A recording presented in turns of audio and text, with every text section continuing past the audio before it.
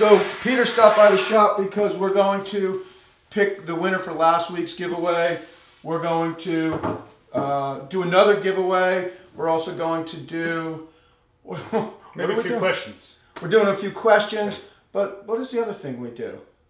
Oh, slideshow. Oh, the slideshow. We're doing yeah. the slideshow. Okay, but I wanted to point out to him how I'm figuring this TV uh, lift top out because he, he asked me, so I thought I'd share it with you.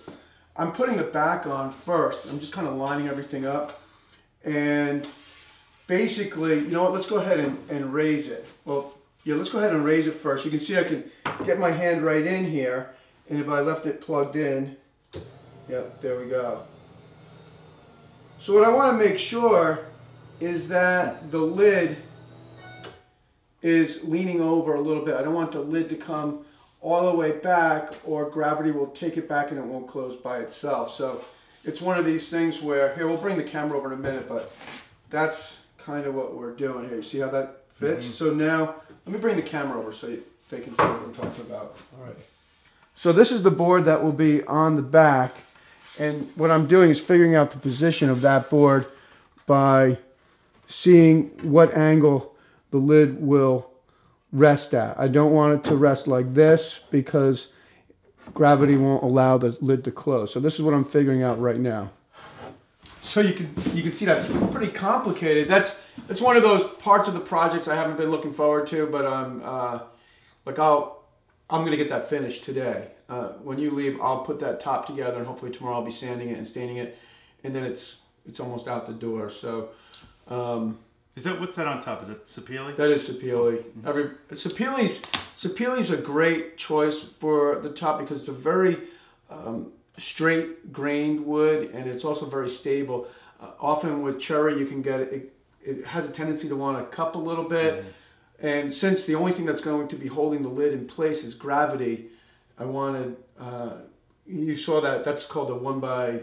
That's a one by eight, which actually measures I think seven and a quarter but it's a very straight board. So anyway, um, we're going to, I wanted to talk a little bit about the giveaway from last week.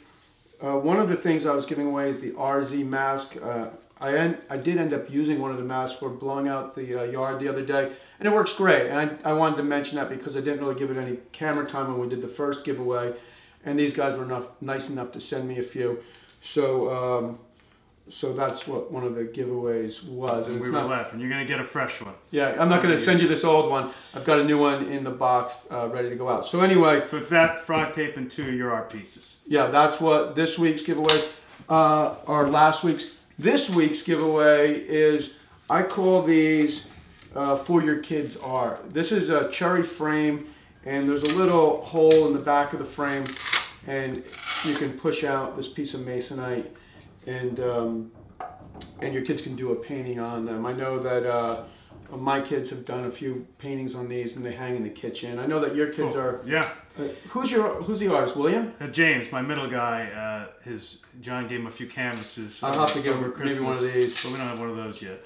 Uh, so that's cool. And there's Yeah. a video on that project. We'll put a link to that uh, here in the video. So If can you want, yeah, if you want to make one of these frames, there is a video, and we'll put a, a link to it. Good. And this um, is cherry. This is cherry, and the panel is eighth inch masonite. So, do you want to? Um, some people have, uh, along with their pictures of their projects, have asked questions.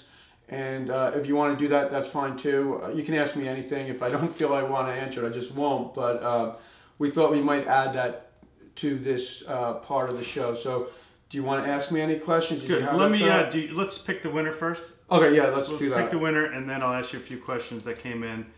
So we're back to the randomizer here. Yeah, and this is that, the randomizer. Somebody left a, a comment that you can just screenshot or you can video well, but we don't know how to do that yet. So I'm just going to take a picture of this with the phone. Okay. Tell me when to go. Okay, randomly pick the winner. 345 unique users. So we have Jared Starnes, who said he would pay uh, pay more for quality uh, plywood, and that, That was to the be question, the yeah. consensus. The question was, would you be willing to pay more for better quality? Seventy dollars was the example you used, versus fifty, and I'd say 90% of the uh, the comments said yes. I know I would. I think that especially what's what I feel has happened. Uh, you used to be able to go to uh, a lumber yard, but now lumber yards are sort of few and far between. And uh, at the home store, if they had a uh, an option for a higher quality, and you could uh, read a little bit about it, whether the veneer was thicker or what the core was made out of, I, I generally would go uh, for for the higher grade. And I wish that that is something that they would bring to the home stores. Start bringing some quality, because as we can tell from the comments, I think people are getting sick of all the cheap stuff. Sure. So um, So a few questions that came in. Uh, one, which has come up pretty frequently, the color of your barn and was it freshly painted? oh, that was from yesterday's video. Yeah, Uh, this the- was uh, uh, Daniel Forstner. Okay, Uh, so that wasn't um, uh, that. Uh, the color of the barn is Benjamin Moore's Heritage Red, and uh, I think I think in that shot it was probably maybe a year old the paint job. But I'm going to uh, I'm going to paint it again because I'm be doing some work to the barn this spring, and my son Walter's um, he's going to be painting that. I, I hope. So that's uh, that's it for, for now. I mean, we All right, keep sending so- your questions in. Uh, we're gonna run the slideshow, which is about two minutes. So uh, keep sending those projects in. You're gonna see all the great stuff, and you know we're gonna keep going in kind of chron- chronological order uh, in the order that people email them to. Is this one going to be next week or is that going to be two weeks? From Why don't we do it two weeks from now? Okay, yeah. So this will be the next show like this will be in two weeks. Good. All right. See you Thanks. soon.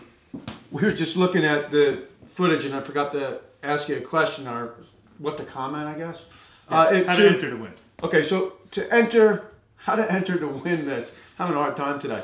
Uh, all you need to do is tell me what screws you like to use for screwing your cabinets together. I got a question. I think it was an email this week, and um, I, for the most part, use drywall screws, and it's probably not the best thing to use.